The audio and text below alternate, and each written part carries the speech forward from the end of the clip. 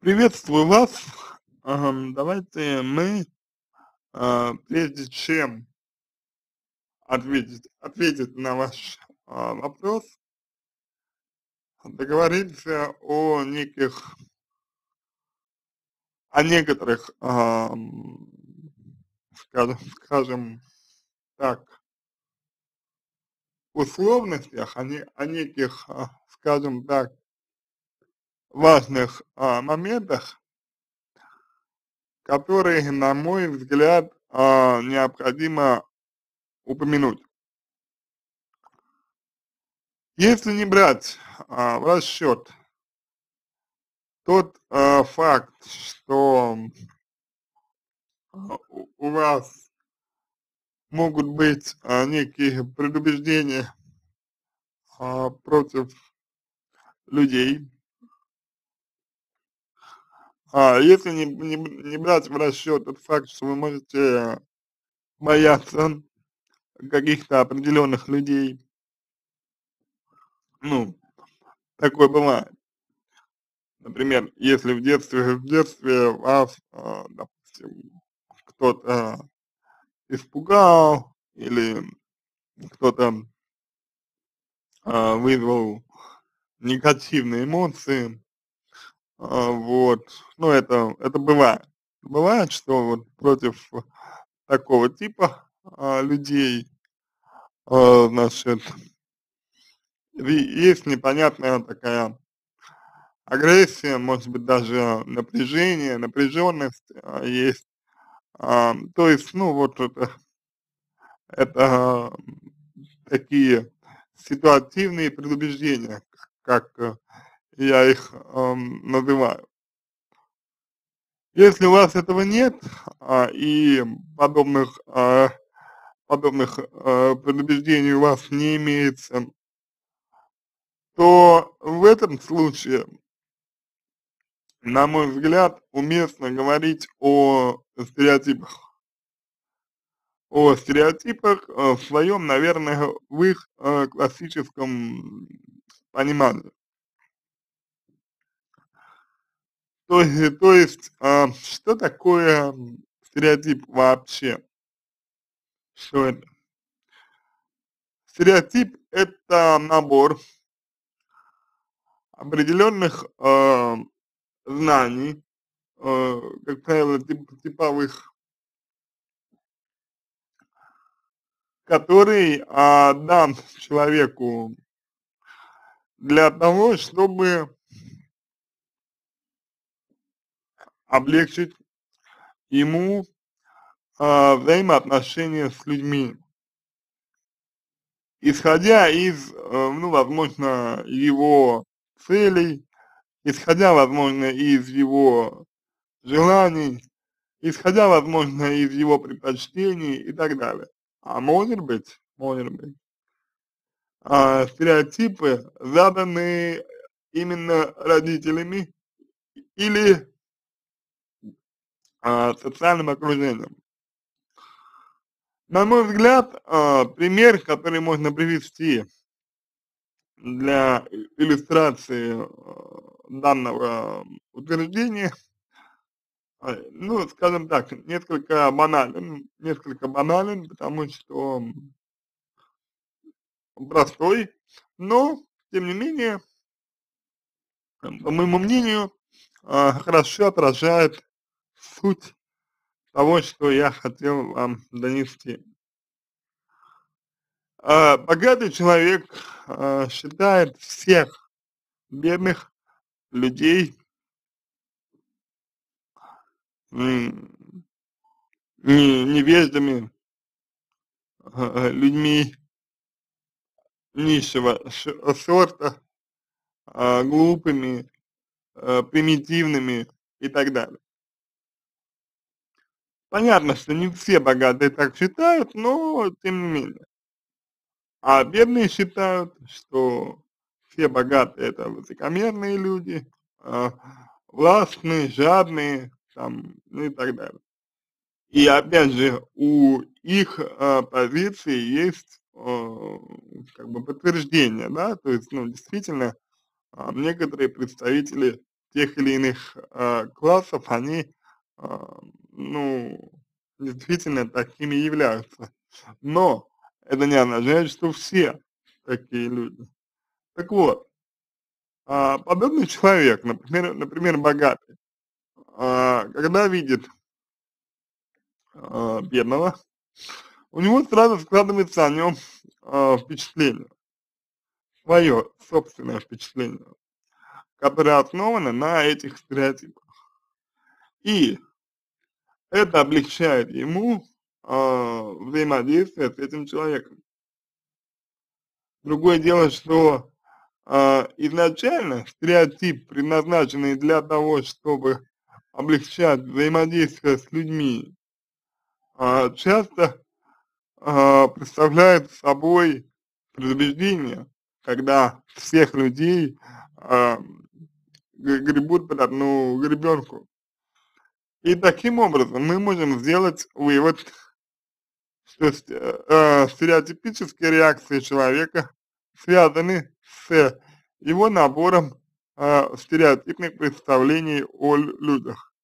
То есть если вы видите какого-то человека, который, например, э, ну, допустим, одет неряшливо, выглядит там не очень хорошо, у него, ну, я не знаю, там, недельная, может быть, щетина или что-то еще, а, скорее всего, прикосновение такого человека будет, будет вам неприятно, потому что вы будете ожидать от него а, каких-то действий, ну, скорее всего, для себя неприятных. И, соответственно, если человек а, соответствует вашим внутренним а, представлениям о том, каким должен быть а, человек в вашем окружении, вот, то его прикосновение для вас э, приятно, комфортно и так далее. И парадокс заключается в том, что это происходит на более тонком уровне, даже когда вы э, сами себе, например, отчета не отдаете в том, э, что в данный, ну, вот на данный момент а, ситуация такая произошла. То есть, если вы чувствуете, что прикосновение кого-то вам неприятно, значит, этот человек не соответствует вашим представлениям о стереотипе того, кто должен быть рядом с вами. Какая для этого причина? Можно только гадать. Здесь могут быть эм, э, стереотипы родителей, родителей, которые говорили вам, ну, знаете, как, как не разговаривать с незнакомыми людьми и так далее. Ну, вот такая история. А здесь мог, может быть и ваш а, собственный опыт, э, когда вы сами обжигались э, каких-то людей и, соответственно, вам неприятно э, прикосновение этих людей. Ну и, наконец, э, здесь возможно и такая ситуация, когда у человека есть так называемые биополе. А, не все могут это биополе чувствовать, не все придают этому значение. А, на мой взгляд, а, так сказать, концепция биополей изучена, изучена еще недостаточно, чтобы говорить о ней как о научном объекте. Но, тем не менее, а, некоторые люди а, излучают а, всевозможные посылы, которые другими людьми могут чувствоваться, а могут не чувствоваться. Э, данные не стоит путать с теми же самыми предрассудками, когда мы, например, идем по улице, да, и видим, нам навстречу идет человек, одетый, например, весь в черное, да, и, соответственно, ну, скорее всего, такой человек будет нам, нам если не неприятен, то, по крайней мере, мы будем а, чувствовать напряжение, вот, и будем а, хотеть от него как можно скорее, скорее уйти, да, вот. Биополе а, – это воздействие человеческого, а, ну, биополе одного человека на биополе другого человека. В биополе э, включаются посылы, желания, некие э, такие общественные, скажем так, послания, которые э, человек как бы э, ну, внедряет, внедряет и посылает э, другим. Вот. А, то есть, если, например, человек а, агрессивный а, посыл а, показывает, ага, то чувствительный а, к индивид, а, он видит это, чувствует это, а, понимает это и как бы, соответственно, защищается от этого. А здесь проблема заключается в том, что а, мало кто признает, что у него есть такое биополе. Мало кто признает, что у него есть такой посыл, поэтому если вы такому человеку скажете, что чувствуете от него агрессию, ну, это можно а, по сути, это приведет к ну, довольно нежелательной эм, реакции, может привести, может привести. Вот. Значит, мы с вами разобрали, э, на мой взгляд, основные э, моменты, которые э, относятся к тому, почему каждый из нас э, по-разному воспринимает разных людей. Это связано именно с э, стереотипическим опытом. Опять же, э, не стоит абсолютно э, все увязывать в эту концепцию, потому что а, далеко не все можно, можно а, объяснить, рационализировать а, этими понятиями. И потому часть из, них касается ваших детских переживаний, а, которые, ну, так или иначе не нашли выхода.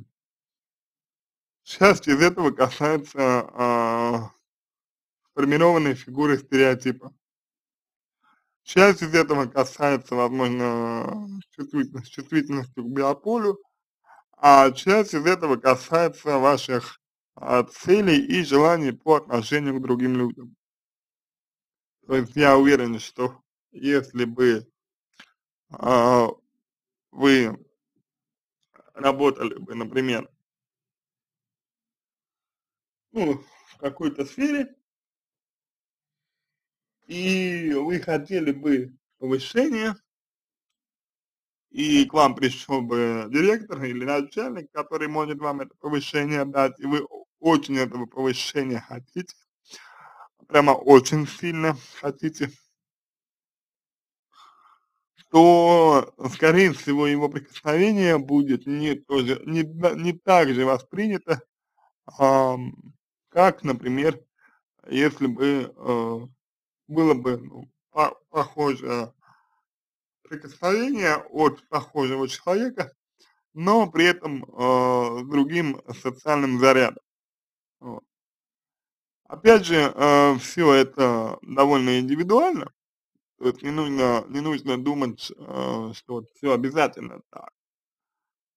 То есть э, истина, она где-то вот на э, пересечении вот этих вот э, переменных, о которых я сказал и которые, надеюсь, вы теперь знаете. А другое дело, что это знание вам даст, это уже другой вопрос. То есть, как правило, а, если прикосновение кого-то вам неприятно, то, э, ну, об этом нужно дать понять э, человеку. То, есть не стоит ожидать, что он э, сам перестанет а, это, ну, к вам прика прикасаться. Если же вы, а, ну, например, терпите его прикосновение всё равно, несмотря ни на что, а, то здесь нужно разобраться в первую очередь с вашей, а, субъективной стороной в этом вопросе. То то есть почему так? Какой мотив, что заставляет вас это делать? На мой взгляд, а, данный аспект, а, тоже очень важен. На этом всё. Надеюсь, что помог вам. А если вам понравился мой ответ, а, буду благодарен, если сделаете его лучше. А если у вас остались вопросы пишите в личку, буду рад помочь. А, на желаю вам всего самого доброго и удачи!